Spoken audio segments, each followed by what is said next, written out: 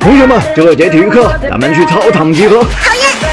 等一下，体育老师这两天身体不好，所以这节课咱们上英语。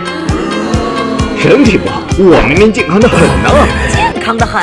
体育老师，你不是 WiFi 依赖症晚期了吗？再不去治疗啊，就坚持不下去了。你说是不是啊，体育老师？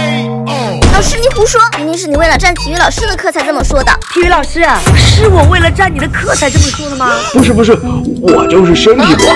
同学们，这节课上英语课。同学们，拿出英语课本，打开。老师，我们已经一年没有上过体育课了。你们考试拿第一了吗？只想上体育课，第一还不简简单单？老师，我们光学习不锻炼身体也是不行的呀。你拿第一了就了不起啊？其他同学呢？他们也跟你一样吗？老师，你看同学们一个个都病怏怏的，这种状态怎么能好好学习呢？还顶嘴，信不信请你家长？